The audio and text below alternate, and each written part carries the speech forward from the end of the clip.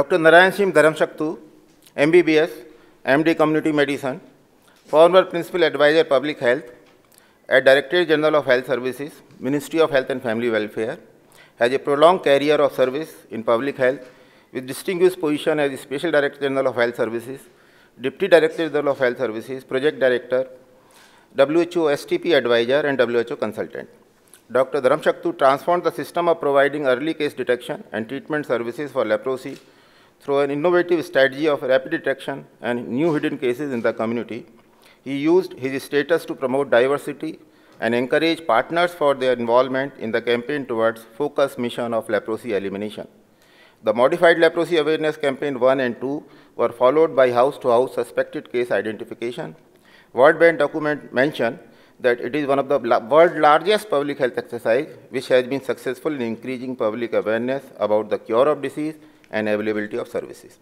Dr. Dharmashaktu has been a prolific advocate, motivator, and given inspiring fieldwork demonstration in the villages. He developed roadmap for leprosy elimination and assisted WHO-supported lep leprosy elimination program in Nepal in 2002-2004.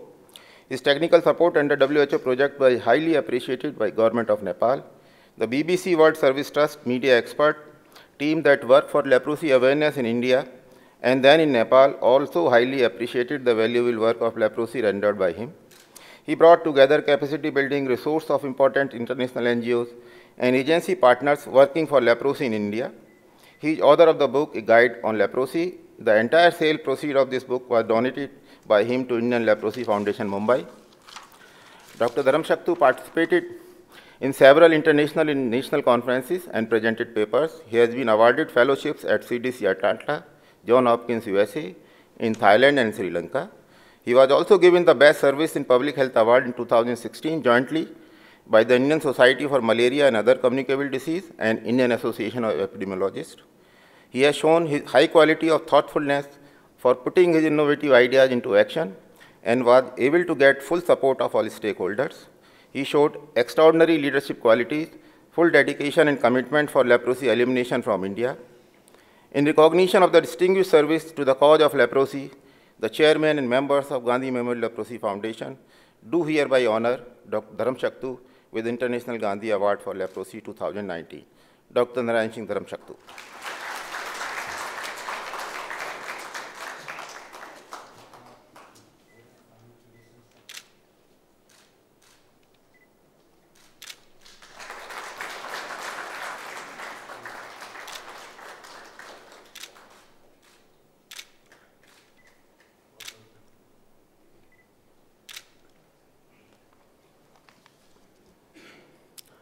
Ladies and gentlemen, in institute category, this year the award is the Leprosy Mission Trust India. The award will be received by Mr. Bhal Chakra Narayan, chairman of the trust. The Leprosy Mission was founded in 1874 as the mission to lepers by an Irishman named Wellesley Cosby Bailey in Ambala, India. Subsequently, in 1973, the Leprosy Mission Trust India TLMTI was registered as a society under Society Registration Act. TLMTI is a leprosy-focused non-governmental organization in India. The organization works with the people affected by leprosy and other neglected tropical disease, people with disabilities and other marginalized communities, especially the women. TMLTI has a diverse set of programs, healthcare, sustainable livelihood, community empowerment, advocacy, research and training, these programs are implemented through 14 hospitals, 2 clinics, 6 vocational training centers, 5 residential care homes for elderly persons affected by leprosy, community em empowerment project, and a research laboratory. They are all spread across the 10 states of India.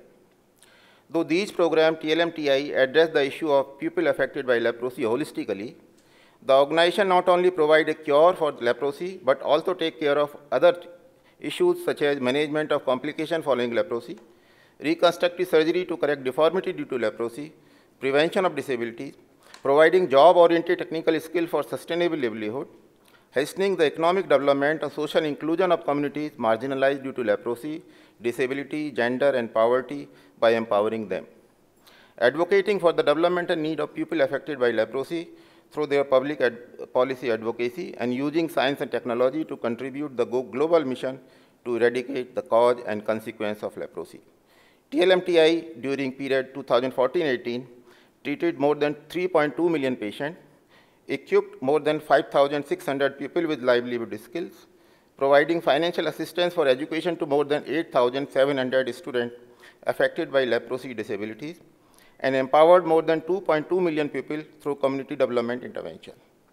In addition to providing comprehensive care for leprosy-affected persons, TLMTI has emerged as a strong research network in contributing immensely to improve the leprosy case management by generating resources from Indian, ICMR, DBT, and other foreign funding agencies. It has implemented important research projects and has made significant contribution to the understanding the basic and applied aspect of leprosy, with major component on translation research aimed at better management and control of leprosy at community level. Through its 145 years of work with people affected by leprosy, TLMTI works towards elimination of leprosy stigma and untouchability to realize Mahatma Gandhi's vision of equality and social inclusion of people affected by leprosy.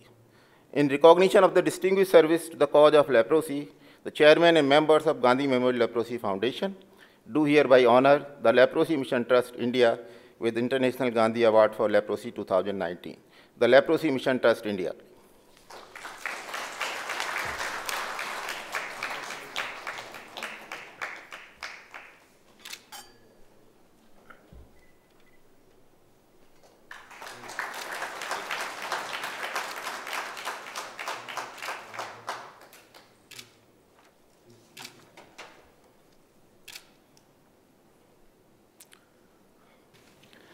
I am happy to welcome all of you here in Rashtrapati Bhavan on the occasion of presentation of the International Gandhi Award for Leprosy.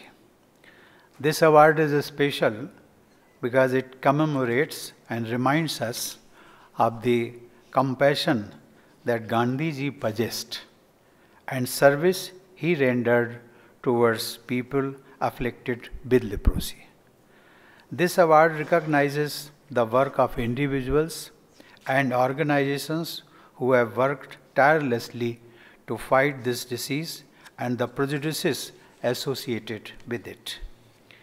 I extend my heartiest congratulations to the recipients of the award for the year 2019.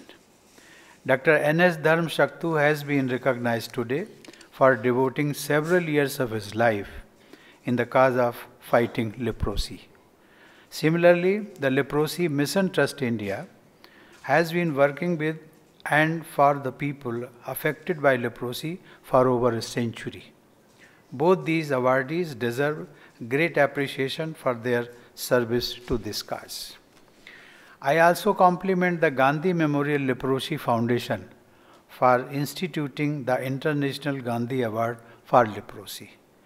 Ever since its establishment in 1950, this foundation has done pioneering work to eradicate the disease and to erase the stigma associated with the disease. Ladies and gentlemen, we are celebrating the 150th birth anniversary of Mahatma Gandhi, whose compassion for patients of leprosy was exemplary.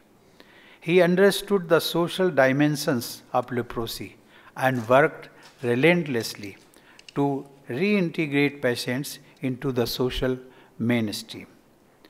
And we must remember, Gandhiji worked for the cause of leprosy patients at a time when ignorance about the disease was widespread and prejudices against those suffering from it were extremely rigid.